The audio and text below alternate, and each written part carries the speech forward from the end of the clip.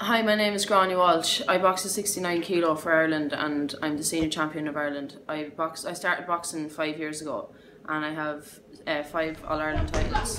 Uh, my biggest my biggest success was in 2016 when I represented Ireland at the World and European Championships and I got to the last eight of both of them and I'm currently ranked at sixth in the world at my weight of 69 kilo. My dream is to go to the Olympics in Tokyo in 2020